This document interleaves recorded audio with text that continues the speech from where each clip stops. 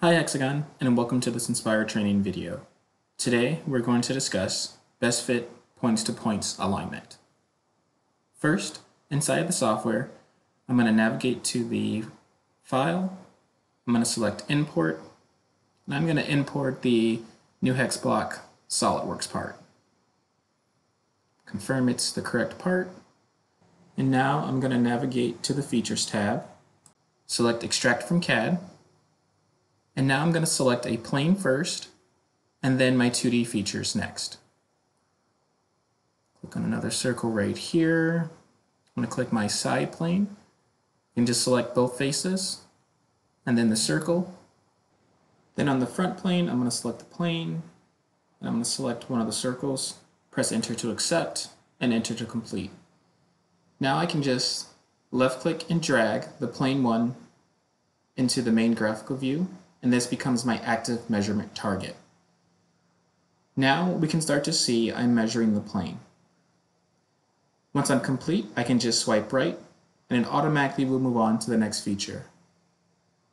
Because I still have my plane 1 selected inside of the tree, it shows the highlighted portion of that inside of the software. Once I deselect it, we can now see the CAD model is de-emphasized and I can physically start adding points now on my plane 2. As I go through and measure this part, the fit statistics will appear on the right hand side of the screen. So I'm just going to finish measuring the circle. I can swipe right. And then now I'm measuring my plane 3, which is that front facing plane.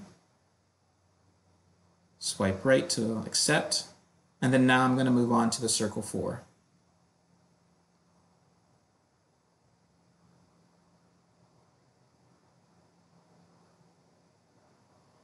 I'm going to place the arm back in the home position.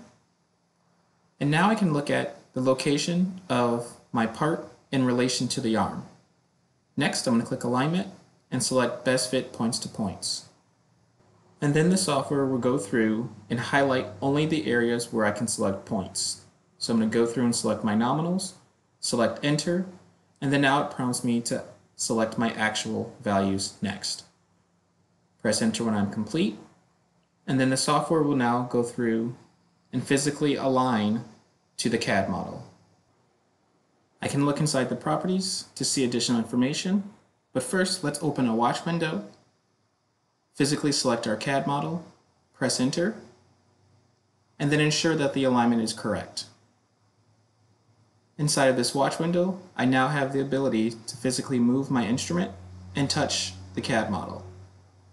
And we can see I start to see some of the deviation appear in the main graphical view. Thank you for watching, and we hope you were inspired.